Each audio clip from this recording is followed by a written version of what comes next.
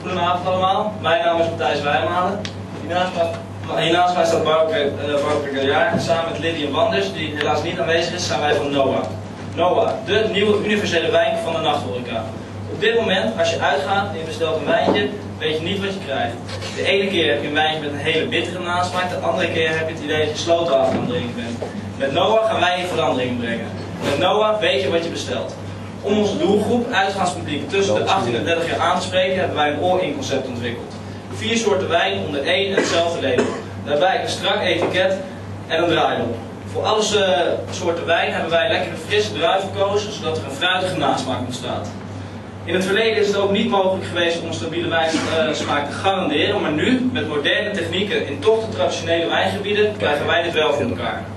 Nou, om onze producten bij de doelgroep te krijgen is het natuurlijk belangrijk de horeca-eigenaar te overtuigen van ons product. We hebben onderzoek gedaan naar Amsterdam en daaruit is naar voren gekomen dat wij ons op een aantal punten kunnen onderscheiden van onze concurrenten. Op het eerste punt flexibiliteit. En dat willen wij doen door middel van een weekendservice. Ten tweede door design en smaak. Nou, het stoffige, oudbollige imago wat op wijn is, gaan wij doorbreken. Daarom een strak etiket en een draaidop en een lekkere fruitige smaak.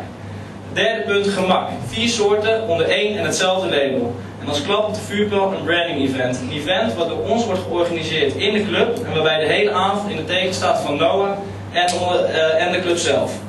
In het eerste jaar willen wij graag een stabiele basis leggen en hebben wij daarom geen investering nodig. In het tweede jaar willen we echt een investering van rond de 30.000 euro om Noah nog beter in de markt te zetten. Daarom moeten we denken aan kleine gadgets, wijnkoelers en nog grotere branding events.